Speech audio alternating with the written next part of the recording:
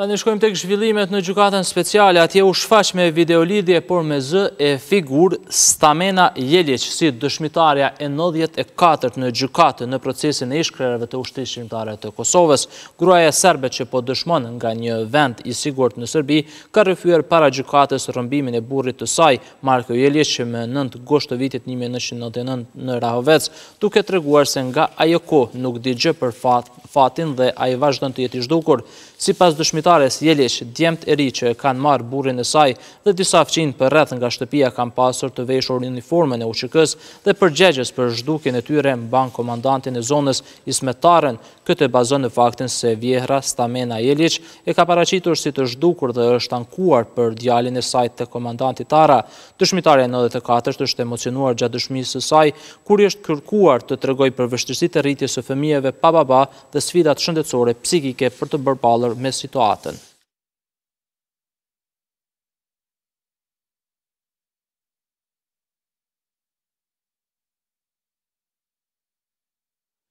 Zyra e Bashkimit Evropian ka organizuar konferencën